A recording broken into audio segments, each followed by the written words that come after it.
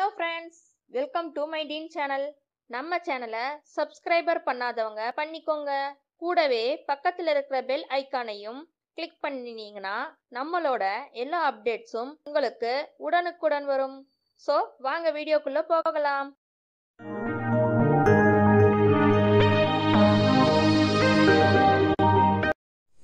இன்னைக்கு என்ன வீடியோவில் பார்க்க போகிறோம் தக்காளி சாப்பாடு எப்படி செய்யறதுன்னு பார்க்கலாம். அதுக்கு முதல்ல அடுப்பை பற்ற வச்சுக்கோங்க. ஒரு குக்கர் எடுத்திருக்கேன். அதில் ஒரு அஞ்சு டேபிள் ஸ்பூன் எண்ணெய் ஊற்றிருக்கேன் அடுத்து நெய் ஒரு ரெண்டு டேபிள் ஸ்பூன்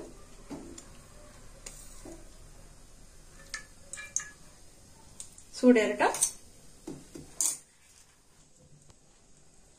ஒரு அஞ்சு பட்டை ஒரு அஞ்சு கிராம்பு மூணு ஏலக்காய் எடுத்திருக்கேன். போட்டுடலாம்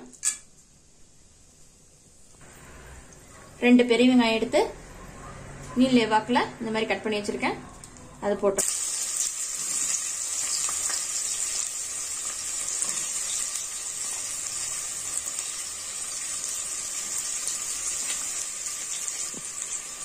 கல்லுப்பு ஒரு ஒரு ஒரு டேபிள் ஸ்பூன் போட்டுக்கோங்க. வதங்குறதுக்காக கொஞ்சம் சீக்கிரம் வதங்கும் இப்போ வதக்கி விடுங்க. கொஞ்சம் சவக்க வதங்கட்டும் பாருங்க இந்த அளவுக்கு பதுங்கி இருந்தா போதும். இப்ப ஒரு டேபிள் ஸ்பூன் பூண்டு பேஸ்ட் அதே அளவு ஒரு டேபிள் ஸ்பூன் இஞ்சி பேஸ்ட்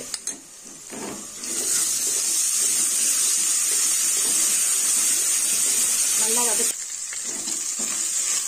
ஓரளவுக்கு வதங்கிருச்சு. இப்போ ஒரு நாலு தக்காளி எடுத்து இந்த மாதிரி கட் பண்ணி வச்சிருக்கேன். பெரிய பெரிய சைஸில் தக்காளி. சின்னதாக இருந்தால் ஒரு ஆறு தக்காளி போட்டுக்கோங்க. இதையும் நல்லா வதங்கட்டோங்க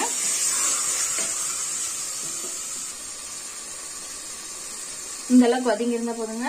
இப்போ ஒரு டேபிள் ஸ்பூன் மிளகாத்தூள். ஒரு நிமிஷம் வதங்கட்டும். மிளகாத்தூள் போட்டு ஒரு ரெண்டு வதக்கு வதக்கிட்டு தயிர் மூணு டேபிள் ஸ்பூன் போட்டுக்கோங்க.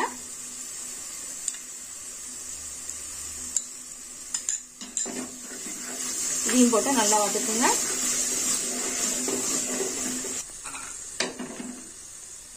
புதினா ஒரே ஒரு கொத்து புதினா ஆஞ்சி வச்சிருக்கேன். அடுத்தது கொத்தமல்லி அதே மாதிரி ஒரு கொத்து போட்டுக்கோங்க. நல்லா வதக்கி விடுங்க.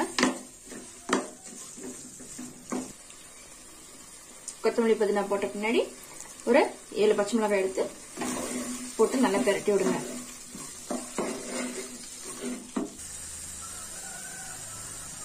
இப்ப பட்டை மிளகும் பொடி பண்ணி வச்சிருக்கேன் ஒரு டீஸ்பூன் போட்டு நல்லா வதக்கிடுங்க. ஒரு நிமிஷம் போல வதங்கிட்டோம். அடுத்து நம்ம தண்ணி அளந்து ஊற்றிடலாம் ஒன்று போல நல்லா வதங்கிடுச்சுங்க.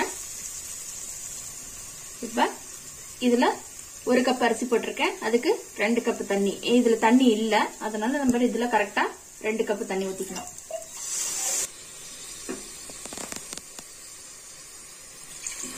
ஒரு கப்பு தண்ணி ஊற்றி வச்சு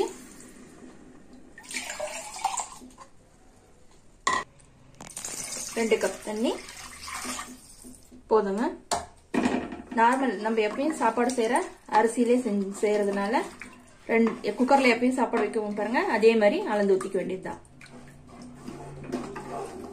கொதி வரட்டும். பாருங்க கொதி வரப்போது நம்ம அதுக்குள்ள அரிசி வடிச்சு தண்ணியை வடிச்சு எடுத்துக்கிருக்கேன்.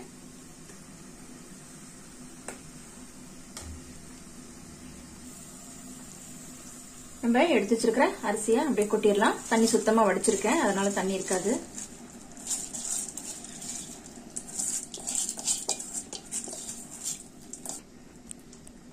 அரிசி போட்ட பிறகு ஒரு தடவை நல்லா கிளறி விடுங்க.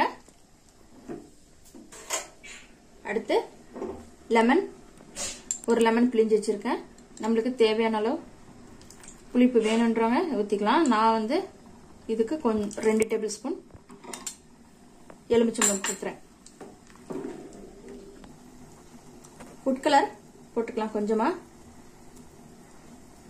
அப்பதான் தக்காளி சாப்பாடு கொஞ்சம் கலர்ஃபுல்லா இருக்கும். நல்லா த பழுத்த தக்காளியா இருந்தா கலர் தேவையில்லை. அவ்வளவுதான். உப்பு மட்டும் பார்த்து வேணுன்றவங்க போட்டுக்கோங்க. இனி வெயிட் போட்டு ரெண்டு விசில் விட்டு இறக்கலாம்.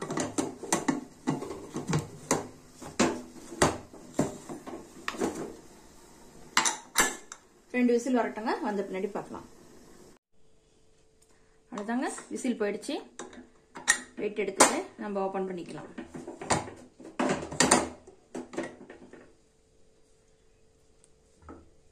இப்போ இதை ஒரு கிளறி விடுங்க அப்படியே.